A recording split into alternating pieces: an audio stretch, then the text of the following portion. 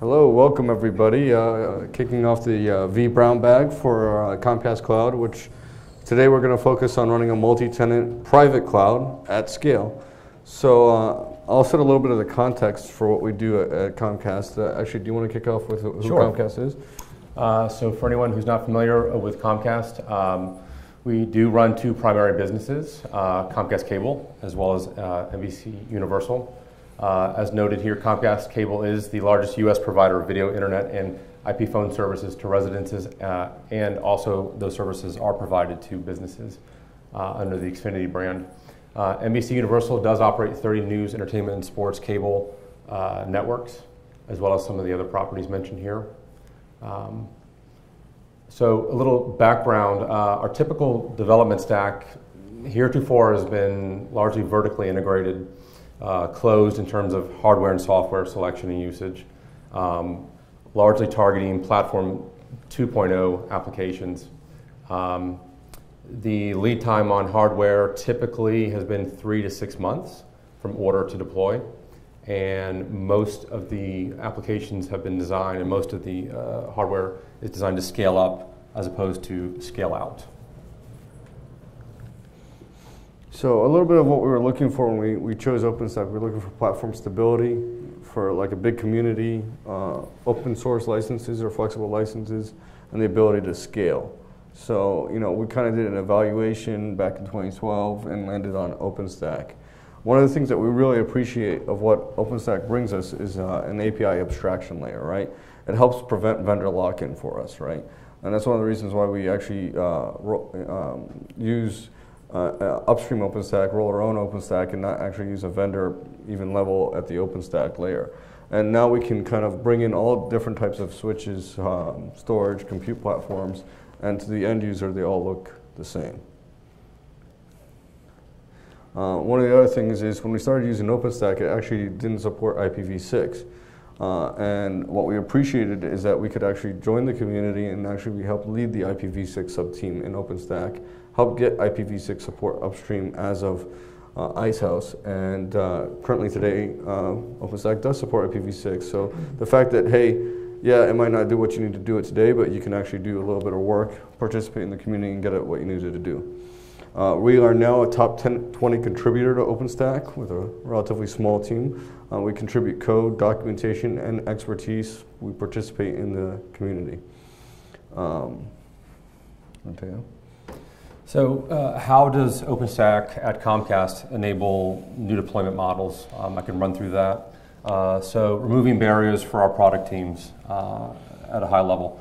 Um, resources are now available to our products on demand. Um, elastic scaling allows better, us to better uh, serve peaks and lows uh, and opens doors for special initiatives, uh, event-specific applications, for example. Um, obviously, horizontal scaling, app resiliency, um, encourages our products to scale horizontally and, and, and dynamically. Um, moves resiliency up the application layer where there's more intelligence. You speak on regional data, sir? Um, so uh, we have two kinds of uh, data centers at Comcast. We have uh, uh, large national data centers where most of the backend services go to, and then we have uh, regional data centers which are much more closer to our customers. Uh, the regional data centers uh, serve a couple of specialized functions. They're used when we need a lot of bandwidth uh, out to the customers or when uh, we have like latency requirements where we need to be close to the customers. So maybe a little highlight on, on exactly you know where we are with scale. So as we kind of mentioned earlier this week, you know we currently have 600 projects or individual tenants on the cloud. Uh, these are all internal projects, products, things like that, and about 1,500 uh, engineers that are actually accessing and, and deploying things and doing things on the cloud. Our footprint has doubled in the past month. We anticipate another doubling by end of year. Uh, and we keep adding more and more sites as well as growing our national data center capacity. Um, and we, you know, I think a lot of times people ask, okay, but what are you running in production there? Uh, Michael, you want to? Yeah, so some of the customers that we have in production, which are fairly large scale, uh, the first uh, articulated here, um, X1, which is sort of the uh, marquee product for Comcast Cable, Uh, we run currently on OpenStack the apps, uh, things like weather, sports, etc., as well as uh, what's known as the X1 or XRE guide, which is literally when you press the guide button uh, on your X1 remote, uh, the, the lattice that comes up uh, in terms of showing you what's on at what time is currently running um, on um, OpenStack as well for millions of set-top boxes. Uh, we have an application that just went to market called Xfinity Share. Uh, and you can think of something like uh, Meerkat as an example, uh, Uh, as, a, as a comparison there. Uh, the ability to stream video to uh, designated uh, set-top boxes. And then uh, another example that, we, that, we're, that we've deployed at scale that we're using currently is our own internal conferencing system, which does integrate with video as well. Should we maybe talk about how do we actually get OpenStack to work at scale? So we have a large number of OpenStack uh, regions that we deploy because of our national data centers and regional data centers. Um, we found that we needed to uh, centralize our Keystone infrastructure and run it as an uh, Apache WSGI process so that it can handle uh, authentication and authorization requests from uh, lots of users across lots of regions. Um, so we do this typically for all OpenStack uh, controller services. We run them behind Apache where we can uh, scale out Apache and then uh, OpenStack behind it, uh, kind of like depending on the process, you can run multiple instances of the process to uh, scale the OpenStack services horizontally.